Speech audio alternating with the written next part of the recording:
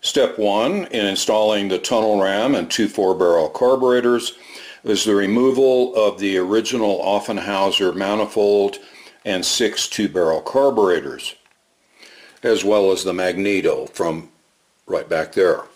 Okay, there's the intake manifold. Uh, I'll probably detail and clean it up for uh, resale. And the carburetors are sitting here safely on the workbench with all the bolts, the cap of the um, magneto, the magneto, and I was surprised to see they used a brass gear, and as you can see, the teeth are very worn.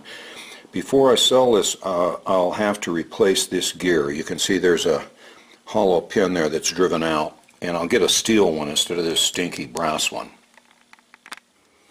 two of the bolts that held the uh, Offenhauser manifold down to the uh, heads uh, had the bolt recessed way down here in, in this passage and no normal socket wrench could reach it. So I had to make kind of a right angle uh, socket here 9 16ths so that I could take out that bolt and this one over here.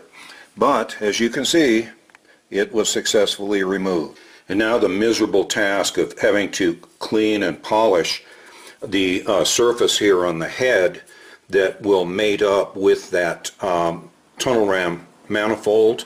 As you can see on the other side, before and after. The china wall is nice and clean and polished and now I have to come over here and, and do the other side.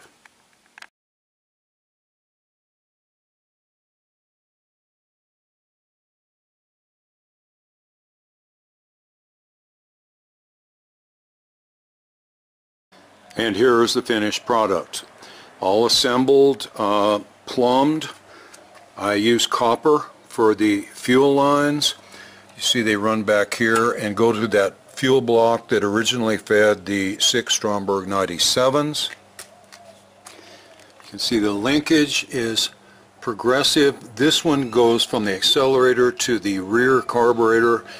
This rod ties those two carburetors together so they both operate in complete unison. Okay, you're on the, just like any four barrel, you're on the primaries until the accelerator is pushed hard enough to open the secondaries. So you're running on four primaries until you open the secondaries and you're running on eight barrels. And things get real exciting when that happens.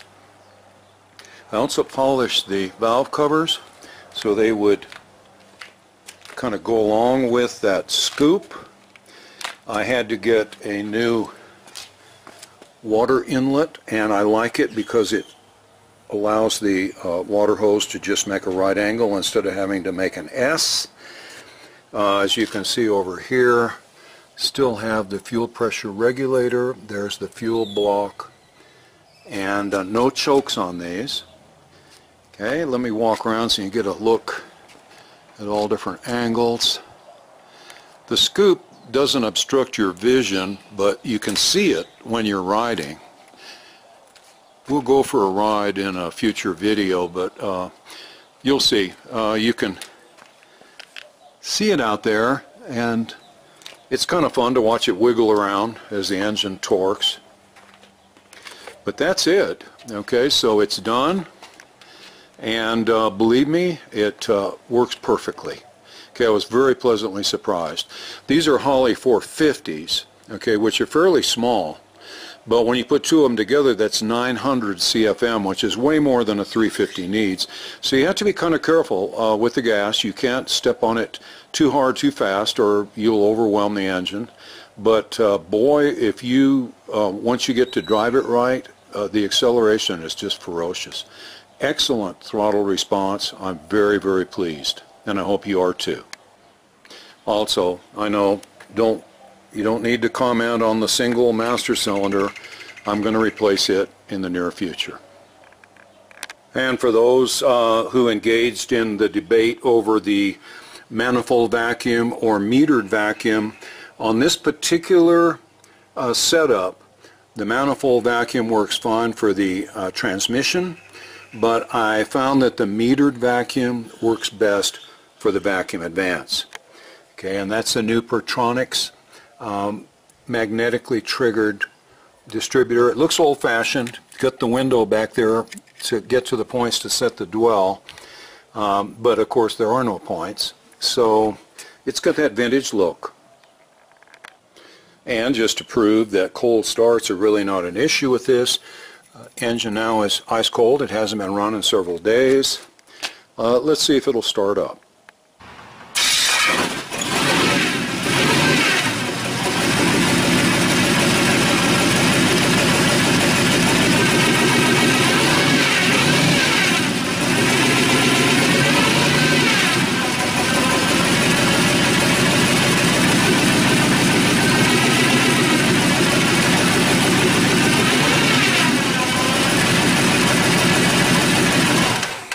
And in conclusion, and in anticipation of a question I know many people will ask, uh, why did I change from the six Stromberg two barrels to the tunnel ram with the two four barrels? Well, recall that I was running just off the two center Strombergs. That's four small diameter barrels. Now I have eight barrels at my disposal and the car, to be honest with you, runs a whole lot better. It's much, much faster. Uh, it isn't anything against the Strombergs. They're just classic uh, carburetors and all. I'm going to set this on the shelf along with the magneto and maybe use it in a future build or I could put it back on the 34 Ford in the future if I choose to. So it's not the end of this induction system. It's just a change of pace, okay, to kind of spice things up here during our quarantine period. As promised, we're going to go for a ride in the 34 Ford pickup uh, with the newly installed tunnel ram. I've got the tripod securely anchored in the passenger side uh, area, so I'll put the camera on there and we're going to go for a little spin.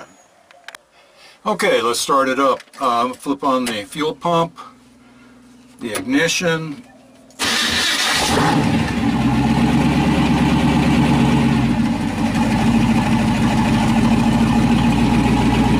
easier to start than you expected, huh?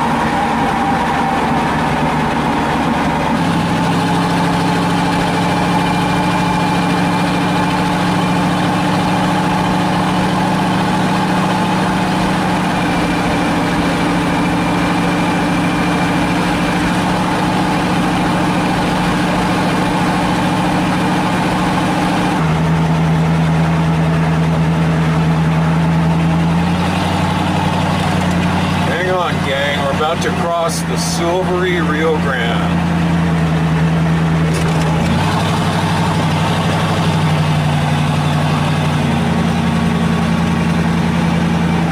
Yes, sir. Home sweet home.